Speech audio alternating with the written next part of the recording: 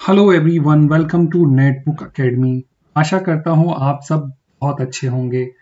Indian polity की lecture series को आगे बढ़ाते हुए आज हम कॉन्स्टिट्यूशनल बॉडीज को कवर कर रहे हैं, जहाँ पर हम देखेंगे election commission of India Bharat का निर्वाचन आयोग, जो कि दिल्ली में स्थित है। आप तस्वीर देख रहे होंगे, यहीं पर भारत के चीफ इलेक्शन कमिश्नर बैठते हैं। इलेक्शन कमीशन ऑफ़ इंडिया एक ऑटोनोमस कॉन्स्टिट्यूशनल बॉडी है। कॉन्स्टिट्यूशनल बॉडी का मतलब होता है एक ऐसी बॉडी जो कि हमारे कॉन्स्टिट्यूशन में निहित है। यह स्टेट यूनियन के इलेक्शंस को कराती है।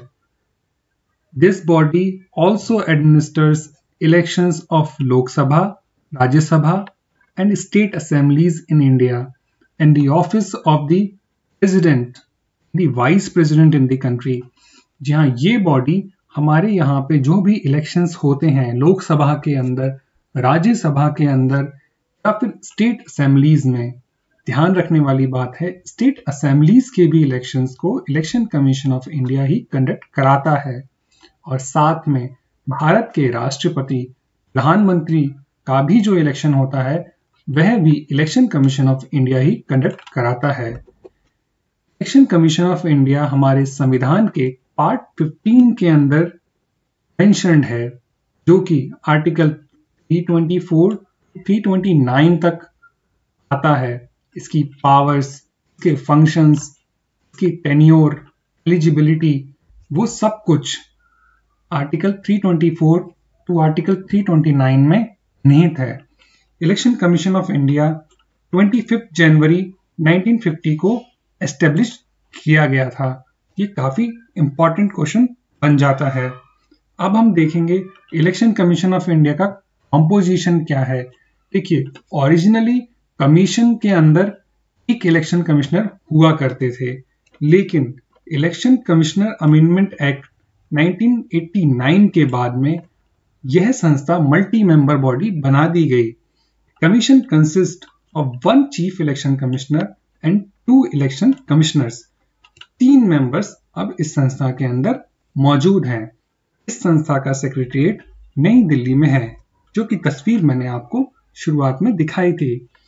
At the state level election commissioner is held by chief electoral officer who is an IAS rank officer state के अंदर चीफ इलेक्शन कमिश्नर लेवल के एक ऑफिसर होते हैं, जो कि इलेक्शन कमिश्नर ऑफ़ इंडिया को हेल्प करते हैं। और इलेक्शन कमिश्नर और चीफ इलेक्शन कमिश्नर को कौन अपॉइंट करता है? भारत के राष्ट्रपति।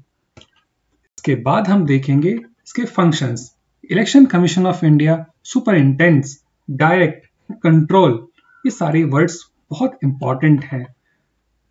Process of conducting conducting in parliament and the legislature of every state and the office of the president and the vice president, ये सब मैंने आपको भी बताया।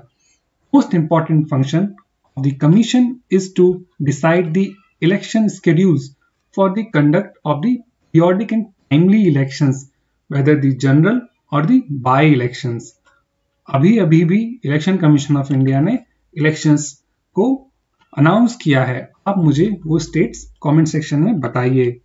इसके बाद में, ये एक बहुत इंपॉर्टेंट काम करता है। It prepares electoral roll issue of electoral photo identity card ये सब भी चीज़ें इलेक्शन कमीशन ऑफ़ इंडिया का एक विंग करता है। It decides on the location of polling station assignment of votes to polling station location जितने भी लोकेशंस होते हैं, जहाँ कहीं भी इलेक्शन हेल्ड होगा, वह सभी election commission of India decide करता है कौन कौन कॉन्स्टिट्युएंसी में कब कब इलेक्शन होगा, सब कुछ election commission of India decide करता है। It grants recognition to the political parties जो भी पॉलिटिकल पार्टीज़ बनती हैं, जितनी भी हमारी नेशनल पॉलिटिकल पार्टीज़ हैं स्टेट पॉलिटिकल पार्टीज़ हैं, सबको सिंबल देना, सबके बारे में एक लेखा जोखा रखना, वो सब कौन करता है? Election commission of India election commission has advisory jurisdiction in the matter of the post election disqualification of a sitting member या ये काफ़ी इंपॉर्टेंट चीज़ है। कोई post election disqualification of sitting member parliament and state assembly दोनों के अंदर election commission of India काफ़ी बड़ा रोल होता है। Issues model code of conduct model code of conduct क्या होता है? जब भी इलेक्शन की डेट डिसाइड होती है, उससे पहले मॉडल कोड ऑफ़ कंडक्ट लग जाता है। जिसका मतलब होता है कि अब जो रूलिंग पार्टी है, या फिर कोई भी पार्टी है, कोई प्रॉमिस नहीं कर पाएगी। जिसकी वजह से जो पावर्स है, उसका मिसयूज नहीं हो पाएगा स्टेट मशीनरी का मिसयूज नहीं हो पाएगा अपने फ़ायदे के लिए। It sets limits on campaign expenditure हर एक कैंपेन एक्सपेंडिचर अपने आप में अलग अलग डिसाइडेड है, जो कि election commission of India decide करता है पर candidate to the all political parties monitors also नहीं तो कोई भी इतना भी पैसा इलेक्शन के अंदर लगा देगा, जो कि किसी और के लिए नुकसानदेह साबित हो सकता है। इसके बाद में process of removal of the chief election commissioner है। जजेस of the high court supreme court and election commissioner यह सब तब हटाए जा सकते हैं जब ये प्रोवन मिसबिहेवियर और इनकेपेसिटी अगर ये हो जाता है। Removal requires special majority of the two-third members present and voting supported by 50% of the total strength of the house. ये एक प्रोसेस होता है इम्पीचमेंट का। हालाँकि इम्पीचमेंट वर्ड का कहीं यूज़ नहीं हुआ है। ये बस भारत के राष्ट्रपति के लिए यूज़ किया गया है। बट ये प्रोसेस यूज़ होता है इलेक्शन कमिश्नर के लिए भी चीफ इलेक्शन कमिश्नर के लिए। क्योंकि इलेक्शन कमिश्नर के लिए ये प्रोसेस नहीं होता है। ये केवल चीफ इलेक्शन कमिश्नर के लिए होता है सीईसी e के लिए। ये बात काफ़ी ध्यान रखने योग्य है। इसके बाद में जो मेजर चैलेंजेस आजकल आ रहे हैं इलेक्शन कमिश्नर को इलेक्शन कमीशन को लेके over the year influence of money and criminal elements in the politics has increased with the violence and electoral malpractices resulting into criminalization of politics election commission है, उसके अंदर काफ़ी पैसा और इस तरह की क्रिमिनल एक्टिविटीज़ इन्फ्लुएंस कर देती हैं कई बार इलेक्शन प्रोसेस को। इस वजह से इलेक्शन कमीशन कई बार दिक्कत में आ जाता है। There is there has been rampant abuse of powers by the state government कई बार स्टेट गवर्नमेंट्स होती हैं, वो अपनी पावर का मिसयूज करती हैं। Flouting ECI's model code of conduct का जो कोड ऑफ़ कंडक्ट का मॉडल है, उसको भी कई बार ये लोग गार्निश कर देते हैं।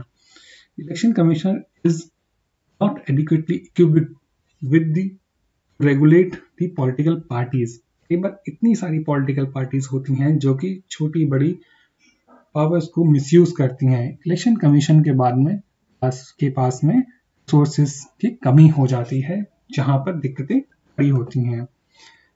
फॉरवर्ड क्या है?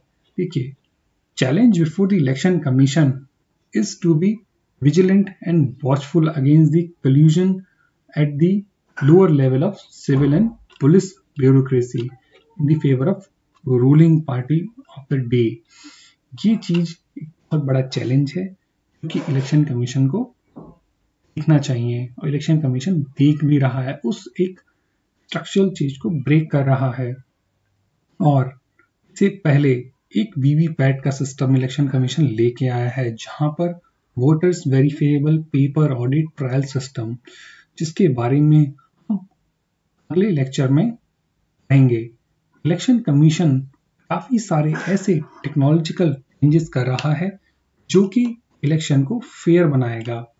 There is a need to provide more legal support to the commission mandate and process that support the mandate सारे ऐसे लीगल सिस्टम्स डेवलप करने पड़ेंगे। जो कि इलेक्शन कमीशन को ज़्यादा पावर देगा, जिससे वह ऐसी माल प्रैक्टिसेस को कर्व कर सके। आशा करता हूँ आपको लेक्चर समझ में आया होगा। जो भी सवाल बनते हैं, वो हम अगले लेक्चर में डिस्कस कर सकते हैं। तो थैंक यू वेरी मच आप इसकी पीडीएफ हमारे टेलीग्राम चैनल से जाके डाउनलोड कर सकते हैं। तो तब तक के लिए थैंक यू वेरी मच